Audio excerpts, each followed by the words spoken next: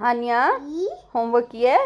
नहीं शोली है जल्ला दा है होदर नहीं। गला खराब था इसलिए होमवर्क नहीं किया? दी ओ इट्स ओके अस्सलाम वालेकुम जी welcome back to my channel जैसा कि हानिया की बातों से आपको पता चल चुका है कि उसका गला ख़राब है तो बस उसको नहला धुला के मैं आ गई थी किचन में नाश्ता बनाने के लिए।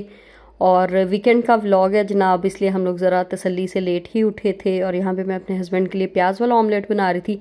शावेज़ जो है, वो बिल्कुल प्याज वाला अंडा नहीं खाता है, इसलिए उसका अंडा जो है, इसके बाद बनाऊँगी। और गलों की ये सूरत हाल है कि तकरीबन सबके ख़राब हुए हैं। और पता नहीं मतलब इतनी ज़्यादा स्मोक और इतनी ज़्यादा पोल्यूशन है कि बिल्कुल गला ठीक होने में आ ही नहीं रहा है। ना कोई मेडिसिन असर कर रही है, कहवा पी लो मतलब कुछ भी जो है ना वो असर नहीं कर रहा है। ये है लाहौर के हालात। और आप लोगों को पता है कि लाहौर जो है ना, वो पोल्यूशन में फ़र्स्ट पे चल रहा है इस टाइम पे। बस ये अल्लाह पाक रहम करें और कोई बारिशें हो जाए, क्योंकि बारिशें होंगी ना तो फिर स्मोक की सूरत हाल भी कुछ बेहतर हो जाएगी और ये जो इतना ज़्यादा पोल्यूशन है, ये भी कुछ ना कुछ इसमें भी कमी वाक़ हो जाएगी। तो आप लोग मुझे अपनी लोकेलिटीज़ का ज़रूर बताइएगा कि मौसम कैसा है। आया वो वाली सर्दी आई है जो होनी चाहिए नवंबर दिसंबर में या नहीं? यहाँ पे तो अभी खैर कोई उस तरह की सर्दी नहीं लग रही। और बस जी ऑमलेट का जो है आमेज़ा बनाने के बाद मैं आ गई थी यहाँ पे पराठे बनाने के लिए। हस्बैंड मेरे ने कहा था, जी, आज मुझे चौरस पराठा बना दें चौकोर भी उसको हम कहते हैं स्क्वेयर पराठा भी कहते हैं, और अपना और शावेज़ का जो है मैं सिंपल राउंड ही बनाऊँगी। और इसका ये होता है कि इससे सिर्फ़ शेप नहीं चेंज होती, बल्कि जो आपका पराठा है ना, उसमें परतें बहुत ज़्यादा ऐड हो जाती हैं। अगर आप स्क्वेयर या ट्रायंगल बनाते हैं, और उससे फ़ायदा ये होता है कि पराठा जो है ना, वो बहुत यमी और बहुत क्रिस्पी बनता है। हमने सिंपल राउंड बेलना है और उसके बाद हमने जो है ना उसके घी लगा के फिर हमने इसको स्क्वेयर की शेप देनी है वो मैं भी आप लोगों के साथ शेयर करूँगी आगे आप लोग जुड़े रहिएगा। और चैनल पर नए हैं तो वेलकम और अगर आप तक ने, आपने चैनल सब्सक्राइब नहीं किया है तो please do subscribe to my channel right now ताकि जितनी भी न्यू वीडियोस हैं उनकी नोटिफिकेशंस आप तक पहुँचती रहें। और ये देखें जी, घी लगाने के बाद हमने इसको चारों तरफ़ से फोल्ड कर लेना है और उसके बाद जब हम बेलेंगे ना तो फिर ये स्क्वेयर पराठा बन जाएगा। अभी मैं आपको बना के भी दिखा देती हूँ। और सर्दियों का ये बहुत मज़ा होता है कि पराठे वगैरह या इस तरह के जो देसी नाश्ते हैं ना वो करने का मज़ा काफ़ी आता है अदरवाइज़ तो ओट्स और मतलब इस तरह की चीज़ें हल्की फुल्की ही अच्छी लग रही होती हैं। तो आप लोग मुझे कमेंट सेक्शन में ज़रूर बताइएगा कि आप लोगों ने पराठा खाया है या किस चीज़ का आजकल नाश्ता कर रहे हैं। मुझे आजकल जो है वो अंडा पराठा काफ़ी ज़्यादा अच्छा लग रहा है, क्योंकि वैसे भी नाश्ता मैं थोड़ा लेट करती हूँ। तो बस ये होता है कि अंडा पराठा का नाश्ता करने के बाद जो है ना, फिर मैं डायरेक्ट डिनर ही करती हूँ, दरमियान में कुछ नहीं खाती। आप लोग मुझे अपने ईटिंग पैटर्न ज़रूर बताइएगा। और ये भी बताइएगा कि आजकल ड्रामा कौन कौन सा देख रहे हैं। मैं वैसे काफ़ी ज़्यादा ड्रामाज जो है वो फॉलो करती हूँ, लेकिन आजकल मन्नत मुराद देखने में जो मज़ा आ रहा है ना इरिस्पेक्टिव ऑफ़ द फैक्ट कि उसमें बहुत ज़्यादा जो है ब्लंडर्स हैं और कहानी कमज़ोर है, ये है, वो है, उस सब चीज़ों को छोड़ के जो इरसा गज़ल ने एक्टिंग कर छोड़ी है ना मतलब यार सल्यूट टू दिस लेडी मैंने इनको बहुत सारे डिफरेंट कैरेक्टर्स में देखा हुआ है।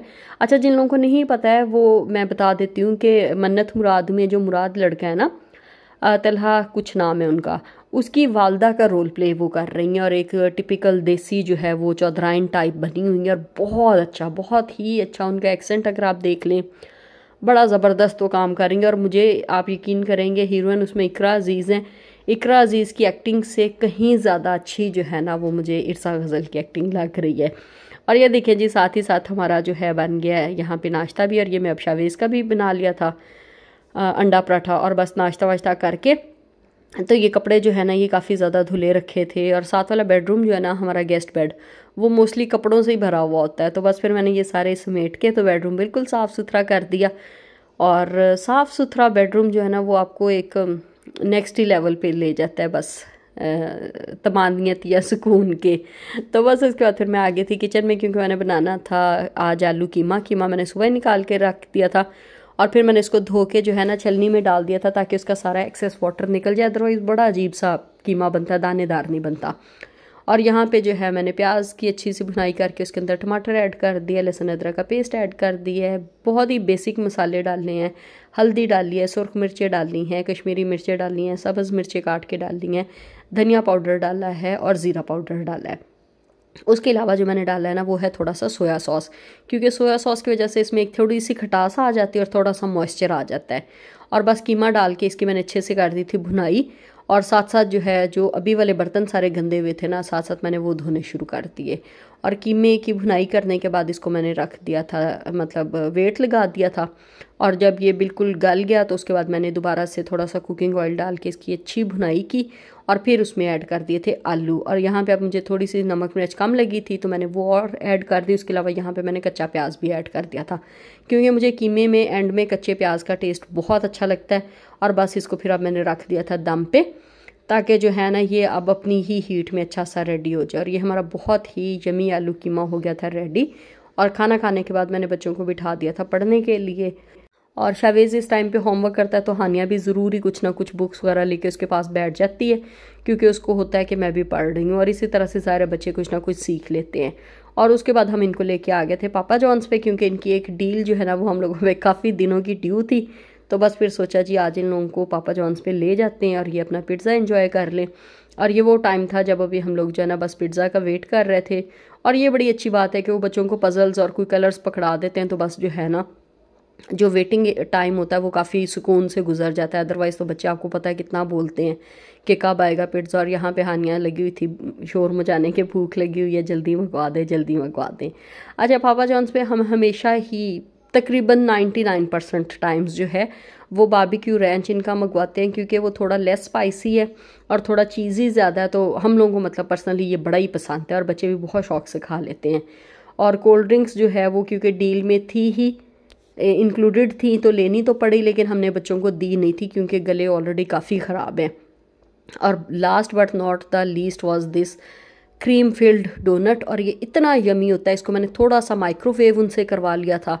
और अभी सच्ची वॉइस ओवर करते हुए ना फिर से दिल कर रहा है कि खाऊं। बहुत ही यम होता है ये। और जब थोड़ा सा वो गर्म कर देते हैं ना तो चॉकलेट भी थोड़ा मेल्ट हो जाता है और इसकी क्रीम भी थोड़ी मेल्ट हो जाती है। और बस ये देखिए यहाँ पे मैं हानिया को खिला रही थी क्योंकि मेरे husband he is not a chocolate lover तो वो नहीं खाते तो बस यहाँ पे मैं और शावेज़ जो है ये डोनट इन्जॉय करेंगे।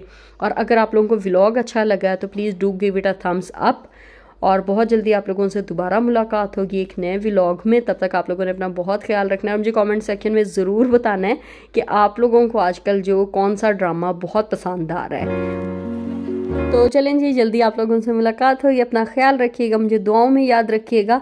अल्लाह हाफिज़।